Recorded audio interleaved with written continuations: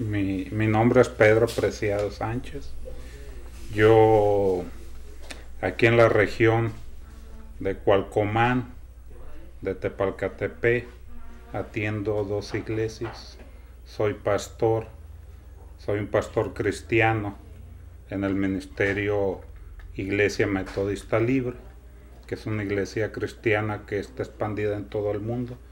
Empezó en Inglaterra y hoy, hoy hay en todo el mundo. Ahí me toca atender la iglesia Tepalcatepec y parte la de la Ecualcomán. Mi historia es la siguiente. Yo el día 10 de enero del 2014 salí de la ciudad de Morelia y agarré la autopista para dirigirme a Cualcomán. A la altura de cuatro caminos hay una desviación. Entonces había dos patrullas de la federal de caminos los que cuidan vaya las autopistas y estaban bloqueando. No había ningún aviso, no decían por qué.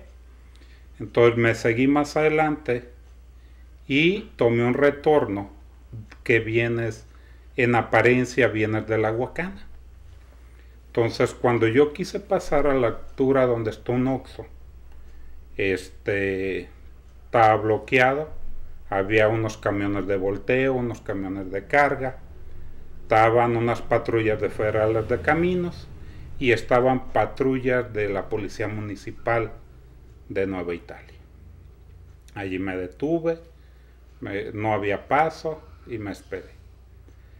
yo empecé a ver que de pronto algunas camionetas les abrían el paso y fui a observar, me dijo un policía municipal que quién era, que me identificara, yo me identifiqué, le dije que era pastor, me dijo que hacia dónde iba, le dije que a Cualcomán. Y me dice, ¿y a qué va Cualcomán? Le pues, a predicar. Vamos a predicar, ya ven que tienen la zona convertida en un infierno. A ver si alguno se arrepiente pues de, de todo lo que está pasando. Yo venía con mi esposa y dos niñas que tengo. Entonces, como a la media hora me dicen, vamos a abrir el campo para que pasen algunas personas. Si gusta pasar, ya va a estar libre. Entonces, nos abren camino la propia policía municipal. Y continuamos. Pasamos la glorieta que se le conoce de Zapata, el monumento ahí en Cuatro Caminos. Y nos enfilamos hacia Apaxingán. Entonces, este, hay una parte donde los cuatro carriles se convierten en dos. Hay un puente allí donde fue la emboscada a los limoneros, principalmente mucha gente conoce por, por todo lo que se difundió. Ahí estaban quemando dos carros, uno estaba completamente en llamas y otro estaba este, a la mitad de la caja de quemar. Ahí estuvimos como media hora también. Estamos hablando que eran como las 3 de la tarde. Posteriormente nos dice alguien, porque había muchos civiles ahí, este, en el puente de arriba y otros abajo, este, que ya se puede pasar, que ya se acabó. Entonces el carro que está medio quemar lo mueven a la izquierda, pasamos algunas camionetas, inclusive un taxi también que estaba ahí. Y pasamos a Antunes y a la altura de donde está una secundaria que es albergue, allí nos paran civiles. Entonces después sabríamos que, que esos civiles pertenecen a la delincuencia organizada, concretamente al grupo de los caballeros templarios. Y me dicen, deme las llaves de su camioneta, baje sus cosas si usted colabora con nosotros, no le vamos a quemar la camioneta. Así que bájese, entregue sus llaves, baje a su familia, a su esposa, a sus hijos, y nosotros se las vamos a cuidar. Así que nos hicieron a un lado de la carretera, estuvieron ahí en una casa aparente de seguridad que ellos tienen, que se puede ver desde la carretera y me dicen, ayúdeme a estacionar carros para bloquear, porque vienen los perros comunitarios. O ellos les nombran los perros blancos, fue lo que yo escuché. Entonces me empiezan a dar llaves de carros que tenían allí y carros que llegaban. Lo que nunca sabíamos es que abren por espacio la autopista para agarrar más carros porque se les están terminando los que están quemando. Y quien no conocíamos del asunto, pues entramos. Ya ellos, con mis dos hijas, con mi esposa, pues me pongo a ayudar y me pongo a estacionar carros, ¿sí? De un lado y de otro. Y, me y nos ponemos a quemar carros, Yo con la esperanza que me regresaran mis hijas, me regresaran mi esposa y también el vehículo. Este pasa como una hora cuando en los radios que traen les avisan que vienen los comunitarios. Entonces ellos se suben a unas motos y se van y me quedo en la carretera. Entonces yo me resguardo detrás del puente peatonal que está a la altura de, de, este, de la secundaria, que es un albergue. Entonces veo dos camionetas que las he visto en la televisión blindadas de los comunitarios. Y por ahí pasa. Entonces yo salgo y al ver veo camionetas con rótulos de Tepalcatepe. Yo salgo y me reconocen, me dice, ¿qué estás haciendo aquí? Le dije, pues quemando carros. ¿Cómo vas a estar quemando carros? Sí. ¿Por qué? Le dije, mira, son cuatro chavos que traen radios, que traen motos que me detuvieron mi familia, que me quitaron la camioneta y tengo esperanzas de que me regresen mi familia y que me regresen la camioneta. Entonces me dicen, ¿dónde está tu camioneta? Le dije, la primera que te encontraste es este como un kilómetro es una camioneta blanca que trae unos rótulos que dice Iglesia Cristiana, Metodista Libre de Michoacán. Entonces me dice las llaves, los se la llevaron ellos. ¿Cuántos eran? Cuatro. Le dije, pero con cualquier llave abre. Entonces me dicen, ahorita te traemos la camioneta. ¿Dónde está tu familia? Se podía ver, estaba como a 300 metros la casa y la señal, ahí está. Llegan con la camioneta, van por mi esposa y por mis hijas. ¿sí? Y entonces me dicen, váyase, no va a ir a Paxingán, se va a Parácuaro. Y de Parácuaro lo van a sacar por una brecha a Tancítaro y de Tancítaro va a bajar a Buenavista y ya va a poder continuar. Así le hacemos, me dan la camioneta, les agradezco. Ellos se van, me dijeron que iban a tomar Antunes. O el día que se tomó Antunes. Y Nueva Italia y como al kilómetro me vuelven a intersectar los templarios. Me, me llevan de la camioneta y me dice el que aparentemente estaba dirigiendo ahí. Eran chavos entre 17 a 22 años. No tenían más, realmente son unos niños los que traen allí. Me dice, por tu culpa se pasaron los comunitarios. Te vamos a llevar con el jefe para que le des cuenta de que hiciste las cosas mal. Yo en ese momento entendí que se estaban limpiando conmigo y que ellos tenían que dar resultados y no se habían Yo lo mira, prácticamente era imposible detenerlos, porque yo conté cerca de 40 camionetas. Ustedes son cuatro, más yo cinco. Entonces me dice, no me importa tú eres el culpable vamos. Entonces me llevan por una de las calles del pueblecito que está allí. Y entonces cuando me presentan, me dicen, este fue el que los dejó pasar. Le dije, pues si yo te estaba ayudando para que me devolvieran mi familia, ¿cómo yo voy a tener la culpa de su guerra y de lo que ustedes traen? Me dice, no me importa tú los dejaste pasar, tú te mueres. Saco una pistola y me iba a dar en la cabeza. cuando sucede eso, había una persona al lado que le dice, mira, no lo mates delante de tus de sus hijas, ni de tu esposa. Son familia. ¿Qué te pasa? Dice, además, ¿sí? si lo quieres matar primero, me vas a matar a mí. Y saca una credencial de la Comisión de Derechos Humanos. Y se identifica como Elías, que era maestro también. Y dice, primero me matas a mí, luego lo matas a él, porque hay familia. En eso estaban en la discusión de que si nos mataban o no nos mataban. Pasan dos helicópteros, uno el ejército, otro la federal, y se empiezan a escuchar bastante balazos en Antunes. Les empiezan a oír por radio porque se escuchan todas las conversaciones que se reportan y que echen aguas, ¿verdad? Porque habían pasado los comunitarios. Este, nos encierran en una casa de allí, del poblado.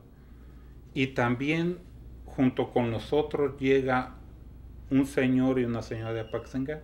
Traían una niña aparentemente de un año, otra de dos, otra de cinco y otra de.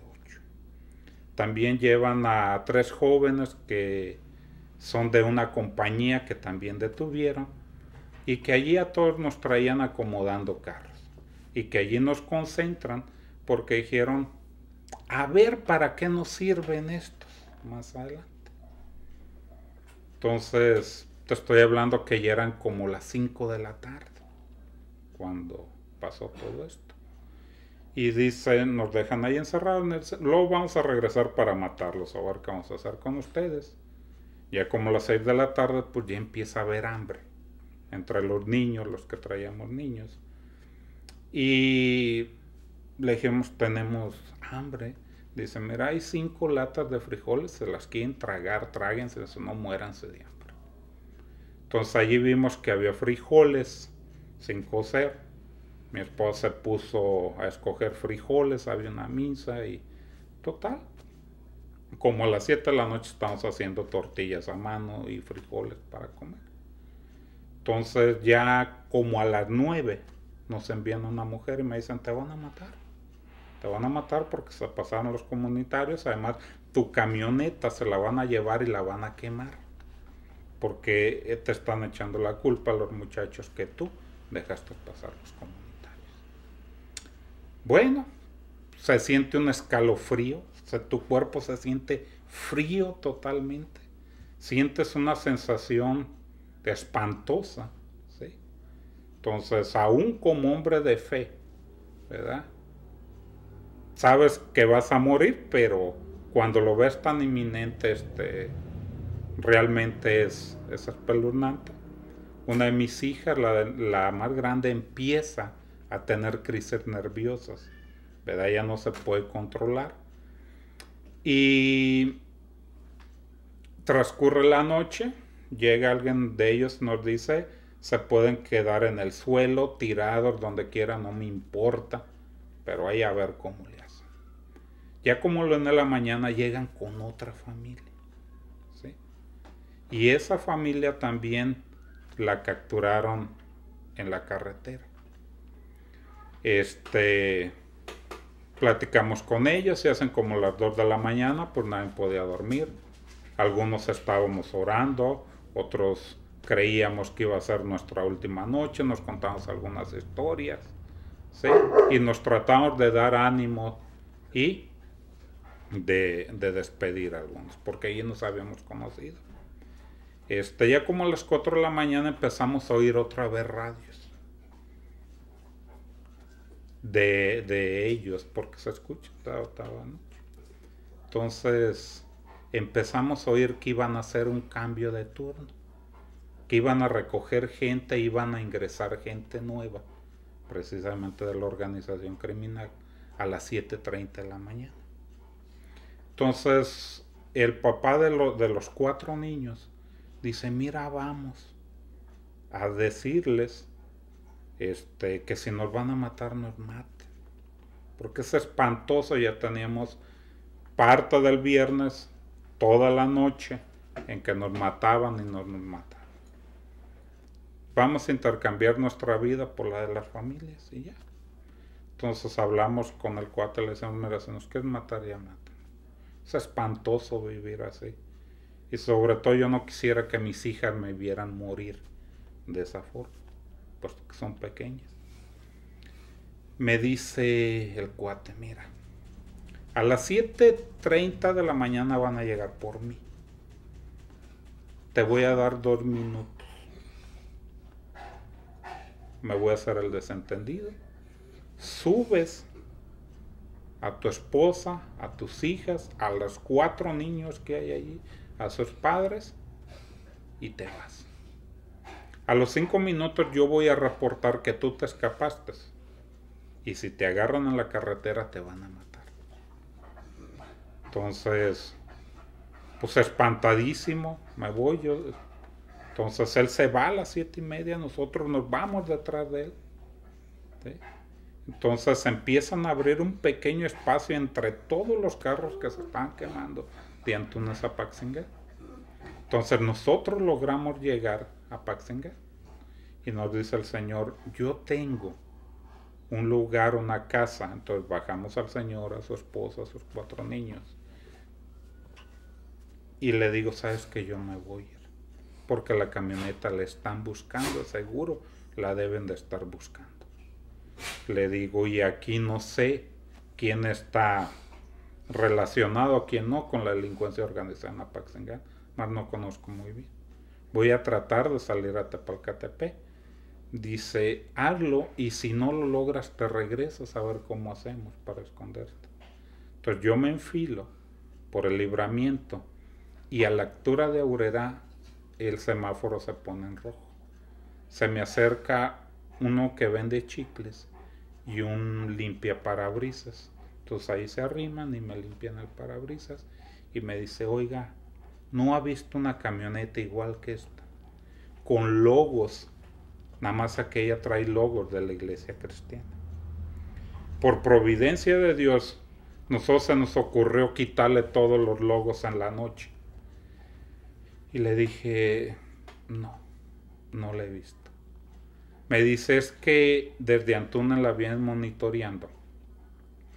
Y ya vienen aquí en el monumento a las Arcarnas. Nadie sale de Apaxingán si no tiene un permiso. Y mucho menos para Tepalcatepe, menos. Y hoy, menos. Entonces, dice, pero en dos minutos llega mi cambio si tú logras de llegar en dos minutos de aquí a donde está el primer retén de soldados, pues ya lo hiciste, ¿no? Posiblemente te detenga.